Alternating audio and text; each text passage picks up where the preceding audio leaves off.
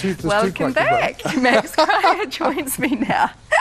So, Max, I mean, I always say, well, this is a popular saying, you can't judge a book by its cover, but I always think that you can judge a book by its author. And um, you have written some fabulous books about the English language because you have a real love of it, don't you? I do, yes. When I look back on the sort of bizarre thing known as my career, almost all of it has been somehow anchored to the English language, though I never knew it at the time. I mean, it's just emerged when people like you say it. Yeah, but you know, I, well, I produced Mastermind on television for 10 years, and that's all words. Mm. And I, I've toured America as an entertainer 19 times, but doing Noel Coward and Gilbert and Sullivan, you know, Cole Porter, word orientated things. And now I've been on radio in New Zealand for 15 years. I'm on Radio Live Mm. answering questions about English language. So it's not just me who's hooked on the language. The questions come every week. Everyone Ev- else. There are a lot of other people hooked on it as well. It's brilliant, isn't it? Was that something that you thought of when you were growing up as a young boy that you ever thought, like, did you have, were you talented at English at school? Not really. I don't think many young boys growing No, up. no, I had other things on my mind. no, it's come lately, but it's very satisfying, and, and I, I'm lucky because some of the ideas I've had, like that one, um, have come to fruition. So it's you know holding in your hand, holding something two years of your life, Mm. and I'm very grateful that I have that opportunity. It is a fabulous book. It's called Who Said That First, and it's the curious origins of common words and phrases. And we, I mean, looking through it, you, we know just about every single one of them, and we find we use them on a day-to-day Well, basis. the, as I mentioned a minute ago, I've been answering radio questions for years on Radio Live, and I thought this time I'll move towards people. And um, you might have heard the story that it was actually Lucille Ball who started it all off. She, uh, when I worked in Hollywood, I knew her slightly, and we were having lunch one day. she nice? Oh, she was very quiet and well spoken and dignified. She was nothing at all like that mad woman on the screen. but, Goodness. but I congratulated her because she just won a big award or something, and she said, Look, I would be nothing without the writers. Without the writers, I am nothing.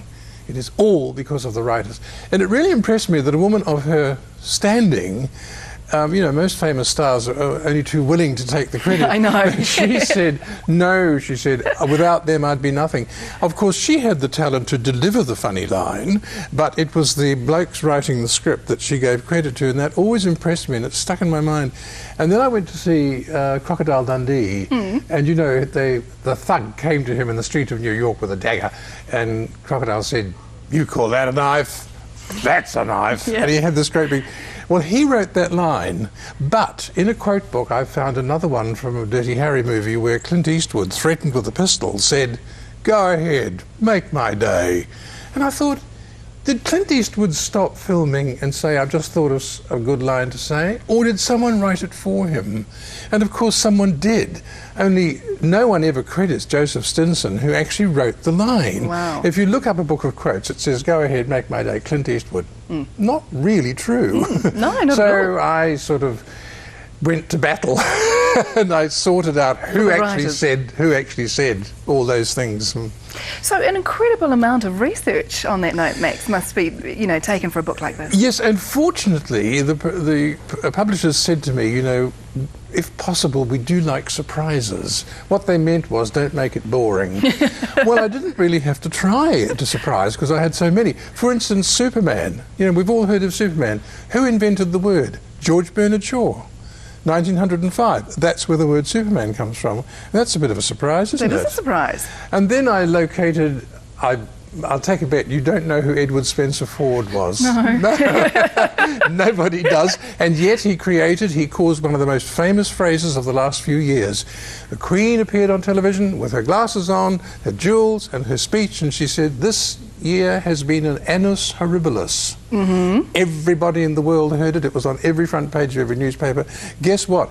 Television and radio had cut off the first half of the sentence. What she actually said was, in the words of one of my more sympathetic correspondents, this has been an annus horribilis. So, of course, I wrote to Buckingham Palace and said, who was the correspondent? And mm. they were mm-hmm. very helpful.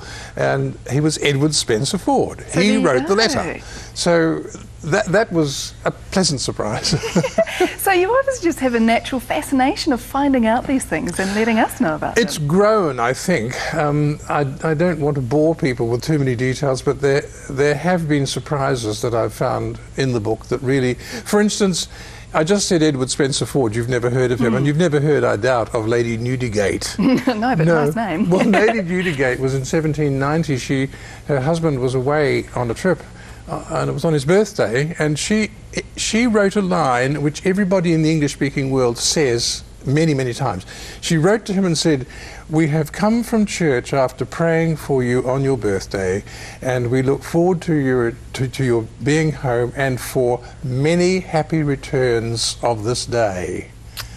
And guess what? Go. Everybody says many happy returns, and no one ever says thank you, Lady Newdigate. That's exactly right. In fact, I've written that in a birthday card today. So yes. there you go. Yes, and curiously, uh, the meaning has become mm. a little cloudy. What she meant was that this day will return, mm. and you'll be with me when this day returns, your birthday next year, and the year after. Wonderful. It's a charming phrase. It is a charming phrase, and it's really nice to be able to remember those kinds of things, which is why we need the book. because, of course, we, we talk about them and then we hear them and then we go to tell someone else. I'll tell forget. you something. A radio interviewer, who shall remain nameless, was talking to me about it the other day on air, and, and he said, as a matter of fact, I keep it in the loo. it's good to read just a bit in the piece now and then. I was actually quite pleased. well, Max, it's been a pleasure to meet you. Thank you very much, and good luck with this book. It's fantastic. Check it out. See you tomorrow.